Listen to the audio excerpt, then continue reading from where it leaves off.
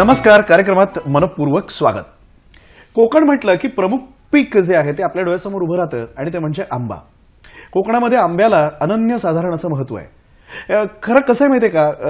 कोकणाला आंबा खोरं असं जरी म्हटलं ना तरी सुद्धा वावगं ठरणार नाही.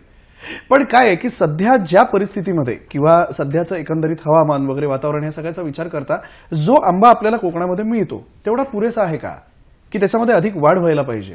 ही वाढ होण्यासाठी आपल्याला आणखीन काय करायला पाहिजे याच वर आजच्या या भागामध्ये आपल्याला चर्चा करायची आहे. त्यामुळे आजचा चर्चेचा विषय आहे आंबा उत्पादनासाठी पॅक्लोब्युट्रॉझोलचा वापर. आणि चर्चेत सहभागी होत आहेत doctor M M Burondkar sir सहयोगी प्राध्यापक आहेत वनस्पती शरीरक्रिया शास्त्र डॉक्टर बाळासाहेब सावंत कोकण कृषी विद्यापीठ दापोली इथून आलेत. सर नमस्कार. कार्यक्रमात खूप खूप स्वागत. नमस्कार नमस्कार. मी आत्ता कोकणाचा उल्लेख केला आंब्याचा उल्लेख केला कोकण आणि आंबा समीकरण आहे. आपण पाहतोय की आंबा मिळतो कोकणात नाही अशातला भाग नाही. उत्पादन जे आंब्याचं आहे ते मिळतंय ह्यात काही तीमात्र शंका नाही. पण याच्यात वाढ झाल्याचं काही गेल्या काही वर्षामध्ये आपल्याला आढळत नाहीये. यासाठी नेमकं काय करायला पाहिजे? बरोबर आहे. आपण जर पाहिलं तर मागील दोन दशकामध्ये म्हणजे एकोणीसशे नव्वदमध्ये जेव्हा राज्यामध्ये रोजगार हमी योजनेअंतर्गत मोठ्या प्रमाणावर फळबाग लागवडीचा कार्यक्रम आपण राबवला. त्याच्यामध्ये आंबा ह्या हे मुख्य पीक होतं आणि त्याच्यामुळे आज आजच्या घडीला महाराष्ट्र संपूर्ण महाराष्ट्र राज्यामध्ये साडेतीन ते चार लाख हेक्टर क्षेत्रावर आंब्याची लागवड झालेली आपल्याला दिसेल. म्हणजे फार प्रचंड प्रमाणामध्ये आंब्याची लागवड झालेली आहे. फक्त कोकणचा जर विचार केला तर कोकणामध्ये एकोणीसशे नव्वदमध्ये फक्त तीस हजार हेक्टर क्षेत्र आंबा पिकाखाली होतं. आता तेच क्षेत्र जवळजवळ पाच ते सहा पटीने वाढून एक लाख एक्क्याऐंशी हजार हेक्टर क्षेत्रपर्यंत पोहोचलेलं आहे.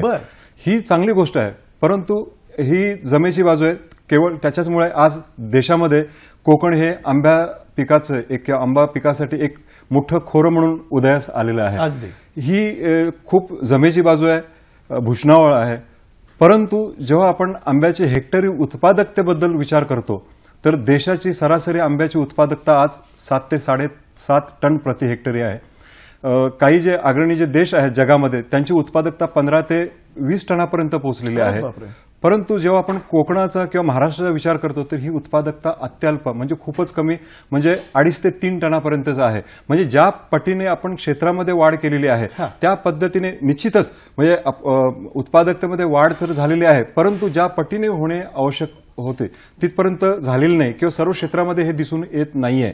तर आणि ह्याचा जेव्हा विचार केल्याच्यानंतर की उत्पादकता कमी का आहे तर या उत- कम- कमी उत्पादकतेसाठी अनेक बाबी किंवा अनेक घटक त्याशी संबंधित आहेत. मग हवामान असेल नंतर इथे वर्षा अवलंबी म्हणजे फक्त पाण्यास पावसाच्या पाण्यावर फक्त आंबा शेती आपण आपल्याकडे घेतली जात आहे.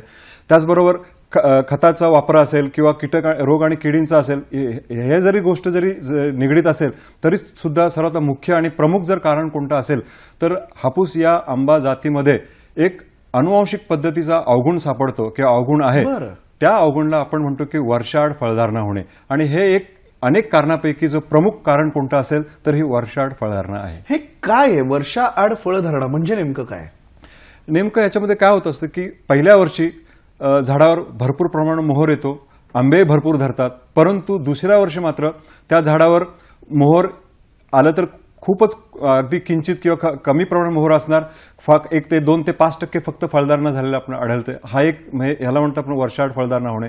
त्याचबरोबर काही ठिकाणी आपल्याला एका झाडावर झाडावरील काही फांद्या एक वर्ष भरपूर प्रमाणे मोहरून फळदारणा दिसेल. पण त्याच झाडावर पुढील वर्ष मात्र बाकी फळधारणा किंवा आपल्याला दिसून येत नाही. हा सुद्धा वर्षाआड येण्याचा प्रकार आहे. आणि हे जे चक्र आहे सर्वसाधारणपणे वयाच्या पंधरा वर्षानंतर झाडाच्या वयाच्या पंधरा वर्षानंतर हे प्रकर्षाने आपल्याला दिसून येत आहे. आणि ही जी फळधारणा एक वर्षाआड फळधारणा होण्याची ही जी बाब आहे हे सर्व जाती काही जाती याला अपवा अपवाद आहेत. आता आपण जर पाहिलं तर संपूर्ण देशामध्ये तेराशे आंबा जातींची नोंद झालेली आहे. आणि या तेराशेपैकी व्यापारीदृष्ट्या फक्त पंचवीस आंबा जाती फक्त महत्त्वाच्या आहेत. त्यामध्ये हापूस तर आहेच केशर आहे नंतर दशेरी परंतु याच्यामध्ये नीलम ही जी आंबा जात आहे हा. ही त्याला एक अपवाद आहे. या नीलम जातीमध्ये बाकी दरवर्षी आंबा येण्याचे एक अनुवंशिक गुण- गुणधर्म हे आढळून येत आहे. सर मला सांगा की या समस्येवरती विद्यापीठाने नेमकं काय संशोधन केलेलं आहे आणि त्यातनं काय निष्पन्न झालं? विद्यापीठामध्ये एकोणीसशे पंच्याहत्तरपासून ह्या समस्येवर विविध प्रकारच्या चाचण्या सुरू करण्यात आल्या. आणि ह्या चाचण्यांमध्ये मुख्यतः जे रासायनिक किंवा जे संजीवके वापरण्यात आले त्याच्यामध्ये असं होतं की हे जिबर्लिनच्या विरुद्ध काम करणारे की ज्यांची कार्यप्रणाली जिबर्लिक ऍसिडच्या विरुद्ध ज्याला आपण त्याला म्हणतो की अँटी जिबर्लिन किंवा हा. अँटी जिबर्लिन म्हणजे जिबर्लिनच्या विरुद्ध काम करणारे जे कोणते संयुग असतील त्याच्यामध्ये सीसीसी होतं मेलिक हायड्रायझाईड नंतर क्लोरोकोइन क्लोराईड असे काही जे संजीवकांचे वापर करून याच्यावर नियंत्रण करण्याचे संशोधन आपण सुरू केलं आणि हे एकोणीसशे पंच्याहत्तर हा पंच्याहत्तरपासून हे सुरू करण्यात आले. त्याच्यानंतर त्याच्यामध्ये म्हणावं तसं यश आल- नाही. नंतर एकोणीसशे सत्याऐंशी मध्ये हे पॅक्लोबिट्रोजल नावाचं हे जे काही आता हे जे आपण ज्याच्याबद्दल आपण चर्चा करतो करतो, हो. हे जे मुख्य हे इतर अँटीजिबरलिन कंपाऊंडच्या तुलनेमध्ये हजार पटीने जास्त सक्षम असल्यामुळे. हा हे जे पॅक्लोबिट्रोजल हे जे संजीवक आहे याची आपण प्रयोगामध्ये आपण समाविष्ट कर- आपण केलं आणि ते कर- केल्याच्यानंतर एकोणीसशे सत्याऐंशी पासून तर जवळजवळ एकोणीसशे सत्त्याण्णव पर्यंत आपण दहा वर्ष पॅक्लोबिट्रोजलचा आंब्यामध्ये सतत दहा वर्ष आपण अनेक चाचण्या घेऊन आपण पॅक्लोबिट्रोजल हे संजीवक आपण वर्षाआड फळधारणा येण्यासाठी आपण हे याला आपल्याला यश मिळालंय आणि भारतामध्ये प्रादेशिक फळ संशोधन केंद्र वेंगुर्ले हे सर्वप्रथम यशस्वी होण्यामध्ये त्याला आपण बहुमान मिळालेला आहे. वा फार छान. सर मला सांगा की पॅक्लो ब्युट्रॉझोलचा जो वापर करायचा आहे आपल्याला किंवा जी शिफारस केलेली आहे ही नेमकी शिफारस काय आहे? किंवा त्याचे परिणाम काय अपेक्षित असतात? शिफारस ही अशी आहे की योग्य मशागतीखालील असलेल्या लागत्या वयाच्या झाडाला एका झाडाला दरवर्षी जुलै ऑगस्ट या महिन्यांमध्ये मातीतून वीस ते पंचवीस मिलीलिटर पॅक्लोबिट्रोझॉल हे आपण जर का झाडाच्या मातीतून जर झाडाला दिलं तर त्या झाडापासून आपल्याला तीन गोष्टी अपेक्षित आहेत. पहिली गोष्ट म्हणजे काय? की आपण हे हे जे पॅक्लोबिट्रोझॉल दिलेली सर्व झाडे दरवर्षी मोहरतात. हा पहिला फायदा. अच्छा. दुसरी गोष्ट म्हणजे तीन ते चार आठवडे हंगामामध्ये लवकर मोहर येतो. हा. हा दुसरा फायदा. आणि तिसरं म्हणजे जवळपास अडीच ते तीन पटीने उत्पादकतेमध्ये भर हो- आपल्याला अपेक्षित आहे. तर असे हे तिहेरी फायदे या तंत्रज्ञानामुळे आपल्याला मिळण्यासाठी आपण ही शिफारस दिलेली आहे. ही तांत्रिक अडचण काय ज्या ह्या उणीवा आहेत तर त्या अशा आढळतात का? की ह्या तंत्रज्ञानाचा वापर करत असताना? होय. पहिली गोष्ट काय की आपण ह्या तंत्रज्ञानाबद्दल आपण तीन चार गोष्टी फार शेतकऱ्यांनी खूप लक्षात घ्यायच्या आहेत की योग्य मशागतीखाली असलेले झाड योग्य पद्धत योग्य मात्रा आणि योग्य वेळ. जर आपण आता नुसतं योग्य मात्रेचा जर विचार केला तर मी मात्रा कशी ठरवायची? तर आपल्याला आपण शिफारस अशी केलेली आहे की झाडाचा विस्ताराचा विचार करायचा आहे. इथे वयाला वयाचं किती वयाचं झाड आहे ह्याला महत्त्व नाहीये. झाडाचा विस्तार लक्षात घ्यायचा आपण. आणि त्यासाठी काय करायचं की विस्तार जे झाडाचा असेल तर ते मीटरमध्ये मोजायचं आहे. बरं. हा मीटरमध्ये विस्तार आणि ते मोजलेल्या विस्तार जे काय उत्तर येईल त्याला तीननी गुणाकार करायचं आहे. म्हणजे जे काय. उत्तर येईल तेवढं मिली लिटर किंवा तेवढं औषधाचं जी मात्रा आहे ती त्या झाडासाठी आपण योग्य समजायची आहे. आता उदाहरण समजा जर का आपण झाडाचं जर व्यास पण एक एक एक मी थोडंसं तुम्हाला इंटरप्ट करतो की हे प्रमाण ठरलेलं आहे. होय. हे ते. आपण प्रयोगातून आपण हे सिद्ध अच्छा, केलेले सिद्ध आहे केलेलं की आहे. सर्वसाधारणपणे प्रति मीटर व्यास तीन मिली या पद्धतीने. असं समजा जर का एखाद्या झाडाचा जर व्यास जर दहा मीटर असेल तर दहा गुणिले तीन. म्हणजे तीस मिली लिटर. हा तीस मिली औषध हे त्या झाडासाठी पुरेसे आहे. हा, म्हणजे हे त्याच्यासाठी योग्य मात्रा झालेली आहे. आणि योग्य मात्रा म्हणजे काय? की जी मात्रा दिल्याच्या नंतर त्या झाडामध्ये किंवा त्या फळामध्ये त्याचे कोणते अंश येणार नाहीत किंवा कुठलंही त्याच्यामध्ये विपरीत आणखी काही त्याचे म्हणजे वाईट परिणाम होणार नाहीत बरं. हे यासाठी हे त्याची योग्य मात्रा आपण शोधून काढलेली आहे. सर मला सांगा की मात्रा जी आहे ती झाडास कमी किंवा अधिक प्रमाणात जर दिली तर त्याचं काय संभवतं चांगला प्रश्न आहे? पहिली गोष्ट काय की झाडाला जर का ही मात्रा गरजेपेक्षा जर कमी असेल तर त्या झाडावर ए- जे दिसणारे जे परिणाम आहेत उदाहरणार्थ म्हणजे मोहर लवकर येणे किंवा भरपूर मोहर येणे हे परिणाम दिसणार नाही तिथे. परंतु समजा जर का चुकून कुठ एखाद्या झाडाला जर का गरजेपेक्षा जर जास्त मात्रा पडलेली असेल तर ते तीन लक्षणं आपल्याला लवकर दिसून येतात. पहिली गोष्ट म्हणजे काय की जे झाडाची जी पानं असतात ते पानं पानांमधलं जो अंतर असतो तो कमी होतो आणि पानं गुच्छासारखे दिसून येतात आपल्याला. म्हणजे गुच्छ असतो. अ, मोहर सुद्धा म्हणजे लांब नसता तो खूपच आखूड अगदी गुच्छासारखंच आपल्याला दिसणार तो. आणि तिसरं म्हणजे जर का तिसरं लक्षण म्हणजे जसं आपण फणसामध्ये खोडातून मोहर बाहेर पडतो हा तर तसेच त्या- तेही सुद्धा लक्षणं काही ठिकाणी आपल्याला दिसू शकतात. पण हे जर तिन्ही लक्षणं दिसली तर ह्याचा अर्थ घाबरण्याची काही गरज नाही. कारण हे लक्षणं हे फक्त तात्पुरत्या स्वरूपाचे असतात. आणखी पुढील दोन तीन महिन्यानंतर नवीन येणारी पालवी किंवा नवीन मोहराबरोबर हे लक्षणे निघून जातात. मग अशा ठिकाणी फक्त शेतकऱ्यांनी काय करायचं की जर असेच लक्षण दिसले तर त्या झाडाला कल्टार किंवा पॅक्लोबिट्रॉलची मात्रा हे गरजेपेक्षा जास्त दिलेली समजून त्याला पुढील वर्ष त्या कार्यक्रमातून आपल्याला हो. वगळायला पाहिजे. सर मला सांगा शिफारस जी आपण करतो त्या शिफारसीमध्ये योग्य पद्धत कोणती योग्य पद्धत म्हणजे आप- आपण हे जे पॅक्लोबोटल देण्याची जी पद्धत आहे हे आपण झाडाला मातीतून द्यायचं आहे हा, म्हणजे हे फवारणीसाठी नाही हे मातीतून आपण देण्याची आपण शिकलेले तर त्यासाठी सर्वसाधारणपणे जे आवश्यक जे मात्रा आहे आपण सर्वसाधारणपणे एखाद्या झाडाला वीस मिली असेल किंवा तीस मिली पंचवीस मिली आकाराप्रमाणे ती मात्रा कमी अधिक असू शकेल. मग ही ठरलेली मात्रा एक ठराविक पाण्यामध्ये पाच ते दहा लिटर पाण्यामध्ये आपण मिक्स करायचे आहे. त्यासाठी आपण एक तक्ता तयार केलेला आहे की मात्रा जर किती असेल वीस मिली असेल तर पाच लिटर पाणी. जर समजा जर का तीस मिली असेल तर त्यासाठी आठ लिटर पाणी. म्हणजे इथे एक लक्षात घ्यायचं की जसं आपण औषध घेताना गोळी घेत असताना आपण कपभर पाण्यावर पण घेऊ शकतो आणि ग्लासभर पाण्यावर पण घेऊ शकतो. त्याप्रमाणे इथे पाण्याच्या मात्राला जास्त पाणी किती घ्यावं ह्याच्याबद्दल काही जास्त काय काळजी करण्याची गरज नाही. फक्त मात्रा योग्य असणे फार गरजेचं आहे.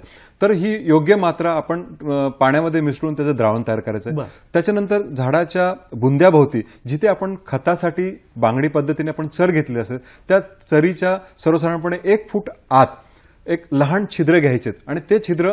टिकावाच्या सहाय्याने घ्यायचे बऱ्याच वेळा शेतकरी काय करत असतात म्हणजे कुठे चूक करत असतात की ते टिकावाच्या सहाय्याने न घेता पहारीणीच ते खड्डे घेतात. आणि मग त्याची जे आपण जे शिफारस केलेली की जे लहान छिद्र आहेत ह्यांची खोली फक्त चार ते पाच इंचच असायला पाहिजे. जास्तीत जास्त सहा इंच असलं तरी चालू. शकेल.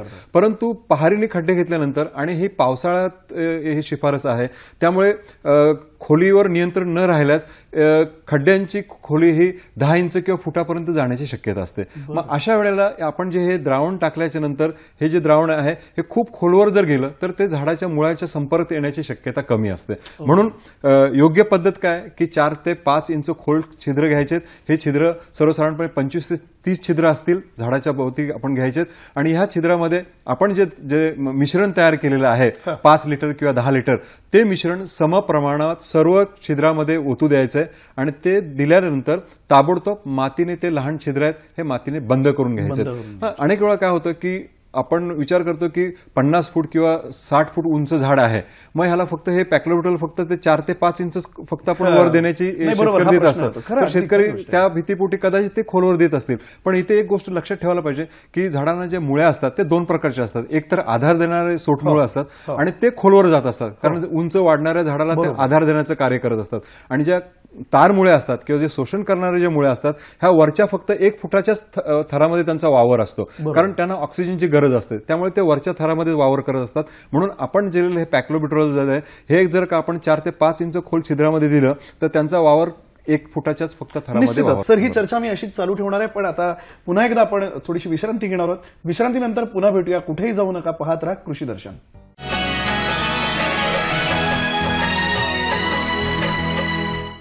विश्रांतीनंतर पुन्हा एकदा स्वागत. सर मला सांगा की याच्यामध्ये ह्या झाडाचं वय जे आहे ना ते फार महत्वाचं असतं. साधारण काय वयाच्या झाडाला हे पॅक्लॉ ब्युट्रॉझॉल द्यायला पाहिजे?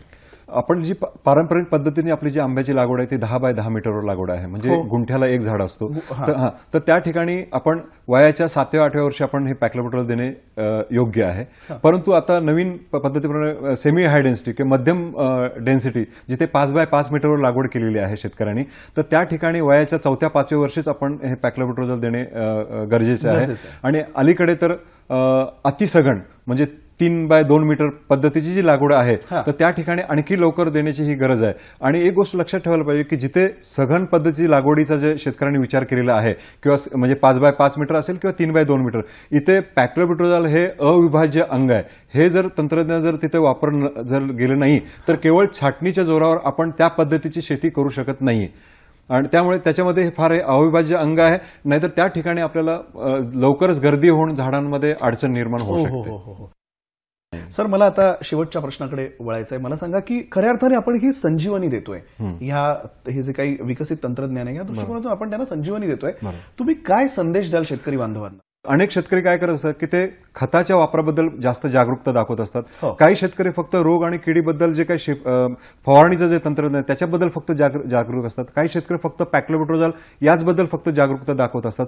तर अशा ठिकाणी एखाद्या फक्त तंत्रज्ञानाबद्दल जागरूकता न दाखता कमीत कमी आपण त्याला पंचसूत्री म्हणतो की पंचसूत्री त्यांनी वापर करणे गरजेचं आहे. त्यामुळे पहिलं सूत्र म्हणजे कसं की जूनमध्ये सर्व झाडांना त्यांच्या झाडाच्या वयाप्रमाणे त्यांच्या गरजेप्रमाणे खताच्या योग्य मात्रा योग्य पद्धतीने संतुलित पद्धतीने खताच्या मात्रा देणे हा पहिला कार्यक्रम असेल. जूनमध्ये. नंतर जुलै ऑगस्टमध्ये झाडाच्या गरजेप्रमाणे पॅक्लोविट्रल देणे किंवा हे जे हा, हे जे संजीवक आहे हे. संजीवकाचा वापर करणे म्हणजे योग्य मशाखती असलेल्या झाडाला योग्य पद्धतीने योग्य वापर करणे.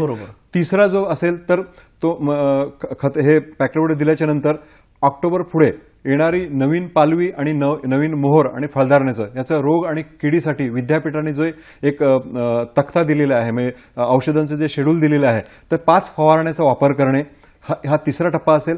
चौथा टप्पा म्हणजे फळधारणा झाल्याच्यानंतर फळांची गळ कमी व्हावी फळे टिकून राहावेत फळाचा दर्जा सुधारावा त्यासाठी जे काही शिफारशीत जे औषधं आहेत त्याचा वापर करणे हा चौथा टप्पा असेल. आणि पाचवा आणि शेवटचा टप्पा म्हणजे आंबे काढून झाल्याच्यानंतर झाडाची योग्य पद्धतीच्या छाटणीचा अवलंबून करून हो. हा हा अत्यंत गरजेचं आहे. कारण परत नवीन पालवी येणे गरजेचं हो, आहे अगदी. आणि असलेली पालवी सर्व झाडावर असलेले सर्व पानं जे असतील हे प्रकाश संश्लेषण क्रियेमध्ये भाग घेणारे असायला पाहिजेत. म्हणजे दाठीने पण पालवी नकोय आणि कमी नकोय. अशा पद्धतीने जेणेकरून तर ह्या पाच गोष्टी जर शेतकऱ्यांनी जर एकत्रित केल्या आपल्या बागेच्या अनुरूप किंवा त्याला गरजे आधारित जर केलं तर निश्चितच आपण वर्षानुवर्ष शाश्वत पद्धतीने या बदलत्या हवामानामध्ये सुद्धा शाश्वत पद्धतीने आपण आंब्याचे उत्पादन आपण घेऊ शकतो. अधिक अधिक त्याची. वाढ घेऊ शकतो. निश्चितच ही पंचसूत्री जी आहे ती आमचे सगळे शेतकरी बांधव आहेत हा कार्यक्रम पाहतायत. या पंचसूत्रीचा निश्चितच ते अवलंब करतील यात मात्र शंका नाही. सर आपण या कार्यक्रमामध्ये सहभागी झालात. अत्यंत शास्त्रशुद्ध पद्धतीने आम्हाला ही सगळी माहिती दिली. त्याबद्दल मी दूरदर्शन तर्फे आपले आभार मानतो. पुन्हा भेटूया पुढच्या भागात. तोपर्यंत नमस्कार.